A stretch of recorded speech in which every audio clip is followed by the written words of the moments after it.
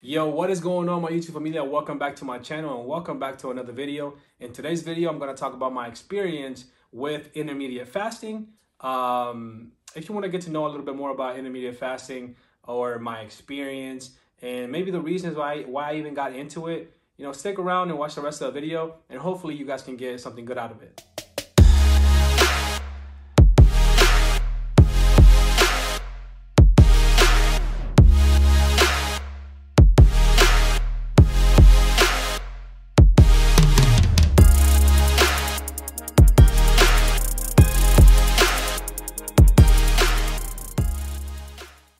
So let's jump right into it. Um, just first and foremost, obviously, uh, before you, you know, if you're considering doing intermediate fasting, you know, talk to your doctor about it uh, to see if it's convenient for you. I'm not, uh, I'm not a specialist here. I'm not a doctor. I'm not a professional, and I'm not, you know, giving you advice that you should try it. It's just my experience of what happened with it, and it's all, you know, hopefully you can learn something out of it, and you can learn something out of my experience.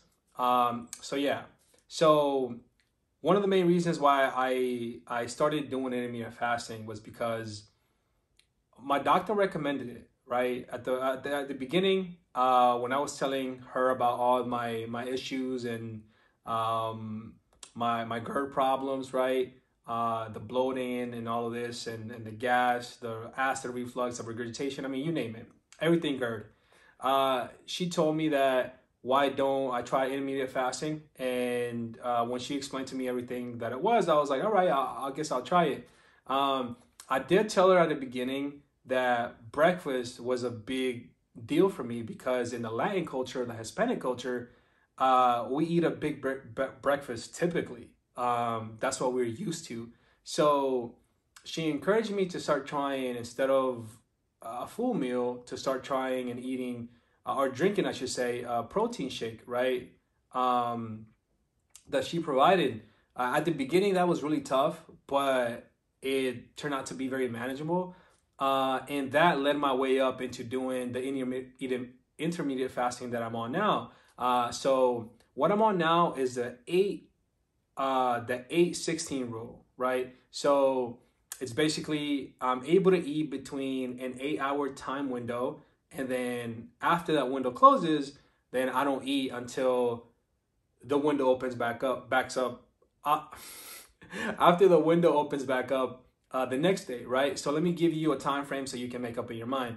So what I prefer is doing the uh, from 11 a.m. to 7 p.m. That's my eight-hour window, right? Uh, for me to be able to eat. Um, after 7 p.m. that particular day, I don't eat anything. Um, I only drink water, uh, and I drink a lot of water. The reason I do drink a lot of water uh, is not just because uh, I love water, but also uh, I constantly regurgitate and you know acid reflux, so I have to keep drinking water throughout the day, throughout the night. Uh, I mean, my GERD issues waking me up in the middle of the night several times, so I have to keep drinking water and have water beside me. But I do not eat during that time frame. So uh, the next day, uh, I wake up in the morning, and that's when the doctor told me to start doing, um, you know, the, the the protein shake. And to be honest, I figured that I could go with the protein shake and actually wait until I eat lunch. Um, so that turned out to be very convenient. Now, if I am hungry in the morning, I would drink my protein shake. But uh, I started noticing as well that I would um, I would just as time went on, I got used to not being able to eat in the morning. So now my body is used to being able to to eat until eleven. Um, obviously, the time frame is not perfect. Uh, sometimes I might eat at 10 a.m. if I'm, you know, if I'm hungry, and then stop eating at 6 p.m. Right, still eight hours in between the eight-hour window. And during that time, you can eat anything you want, but obviously it's better to eat in a healthier manner, in a healthier fashion. Um, you have to manage and, and, and, and watch what you eat. And why do I say that? Is because typically, obviously, when you don't eat for basically um, 16 hours, um, that's a long time to wait, right? So when I'm done eating, uh, you know, about six or seven, I have to wait till 11 the next day. You know, I'm typically very hungry. So uh, I try to have that mental capacity and mental discipline of like, hey, when it comes to lunchtime, you know, eat your food, but don't eat excessively, right? Because then that creates even more problems. So, you know, just a little tip and a little advice. Um, obviously, this takes time. Um, so get used to it uh, because at the beginning it was a little bit tough for me. Um, there's also, uh, I, I want to say, there's people that do it. I do the 16, 18 hour rule. I'm, I'm sorry, the six and 18 hour rule, which is they only eat uh, between six um, hours, that time frame, and then obviously they don't eat for the rest of the 18 hours. So that I found to be a little bit tough. I don't think I'll, I'll be able to do that personally, but you know, props to whoever you know does that. That's that's pretty cool. And also, you can do the 12 and 12 rule, which is uh, you can you're able to eat for that time frame of 12 hours, and then you don't eat for 12 hours. I've heard that there's benefits to that as well. Uh, so obviously, you know, before you get into all of this, make sure you do your research very well on your end. Uh, the reason I do that A16 rule was because it was uh, suggested by by my doctor. So it's something I felt comfortable with and something something that I feel comfortable now. But do your research, man. Make sure you go to you know to, to other YouTube pages and and do your research online, uh, which is very important. And obviously, then again, talk to your doctor to see if it's convenient. It'll help you. But also, I want to add that the reason I also like this is because I've read on a video that I've read on the video. I watched a video that um, during those 16 hours that you're waiting to eat, if you were to exercise, or I think even if you don't exercise, you burn 30%, 33% more fat than you normally would if you had like a regular full day of full day of meals, right? So um, that actually helps me stay in my weight, which is pretty cool. I right now weigh around I fluctuate between between 220 and 225. But I do, hey, listen, listen, chat. Listen, guys. I wanna I wanna lose about 20 pounds. I wanna weigh around 200 pounds. I think that's a good weight for me. But I don't I don't just wanna lose fat. I also wanna keep my muscle. So that's gonna take a little bit of time. But you know, that's another story for another video. Um, but I do fluctuate around 220, 225. And I've noticed that I'm able to eat um, you know, pretty decent food, I would say, and without gaining weight, right? And if I were to exercise um, or, or, do a little bit of walking or, or you know, weightlifting, uh, I've noticed that I'm able to, you know, lose some weight, which this is what I'm gonna continue, uh, so I can lose lose some weight in, in the future. Um, but the fact that you're burning 30, 33% more fat is pretty cool. I'm actually gonna post uh, a couple videos on the link below uh, on the on the on the description of the video below, uh, just so you guys can get an idea of or get more information on, on intermediate fasting. Um, one of the videos that I'm gonna link on there is uh, this is a chiropractor slash nutritionist that I used to go to. Um, and he has uh, a really good channel, very, very informative. I would recommend you watching all his videos.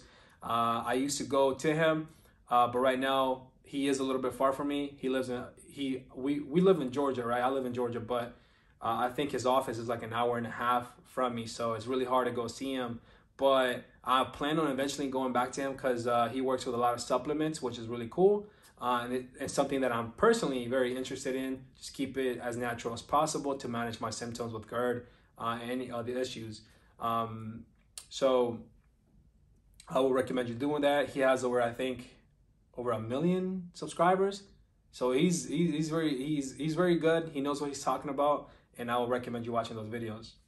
Now, let me talk to you about another reason why I like the intermediate fasting uh, that I'm on in the time frame that I'm on. Because if I stop eating around 6 p.m. at night, 6 or 7, depends on what time. Typically, to be honest, my dinner will be around uh, you know around 6 for the most part. So let's say I'm done eating at 6:30 uh, I typically go to go to bed around 11, so that almost gives me a five hour window for my food to digest and for me to be able to at least get a good night's rest, right? Um, so I also have to take that into consideration. What time you go to bed would be very important whenever you're doing intermediate fasting, uh, because you want your food to digest. Obviously, you don't want to eat an hour before you go to sleep, um, because as you know, that's that's pretty bad for you. I actually used to have that habit in my past and is one of the main reasons why I started suffering a lot from GERD and my issues got out of hand. But now I definitely wait at least three hours before I go to bed. Um, uh, I, I, eat three hours before I go to bed.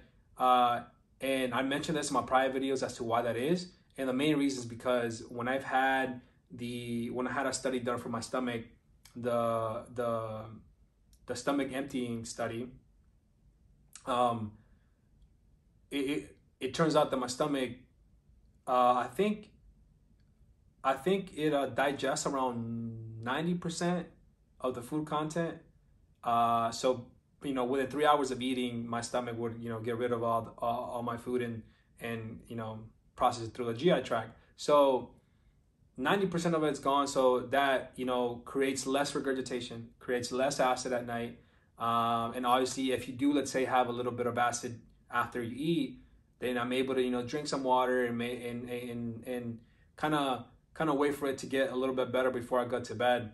Now, is that you know successful 100% of the time? No, it's not. You know, there's some with GERD, you never know how it's gonna turn out whenever you eat. But for the most part, it's a safe rule of thumb that I keep. I mentioned it to you guys, you know, just in case you, you got just in case you guys are interested. But that's just personally for me, and it, and it kind of works for me as well. And then adding to that time frame, so whenever I wake up the next morning, I typically wake up around seven seven thirty uh, to work.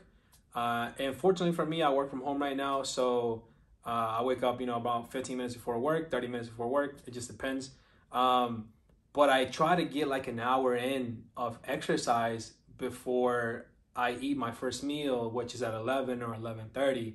Um, so I can burn a little bit more calories, uh, and then your body starts using that stored energy, um, which is you know helps you lose a little bit more weight, and also it keeps me at the way that I'm at, just in case I'm slacking on my food or I'm eating, uh, you know, pretty good um, during those days. For example, for Thanksgiving, uh, I ate a lot of food, but I kept that same uh, that same uh, schedule, and you know I barely gained any weight. So again, that's the reason I, I still fluctuate between 220 and 225. So I try to add that that hour in of exercise, uh, whether it's walking, uh, whether it's uh, a little bit of li- lifting weights, maybe you know going up and down the stairs a little bit. It just depends. Um, I can't do a lot of running because it affects my heart rate too much and my and my chest way too much. And if you see my videos, you know my health issues are, are, are all over the place and uh, it's not good for me, right? So just keep in mind, obviously, don't force yourself and, and don't overdo yourself if you can't do it. But if you can do just a little bit, it's better than doing nothing. Uh, you know what I mean? So I keep that in mind. Uh, and basically, that's all I have for you guys today. If you have any questions, uh, any concerns, just let me know. Comment on the YouTube section. And just, you know, a reminder uh, to share, like, subscribe. Um, hit the bell so you can get notifications uh, whenever I post videos and also whenever I go live on my videos. Um, because I do go live typically every uh, every weekend uh, and most likely on a Saturday. So I would love to see you guys there uh, so we can interact one on one and you know with everybody in the in the chat and in the community here. So thank you guys for watching. I appreciate it, and I'll see you in the next one. Peace and love, baby.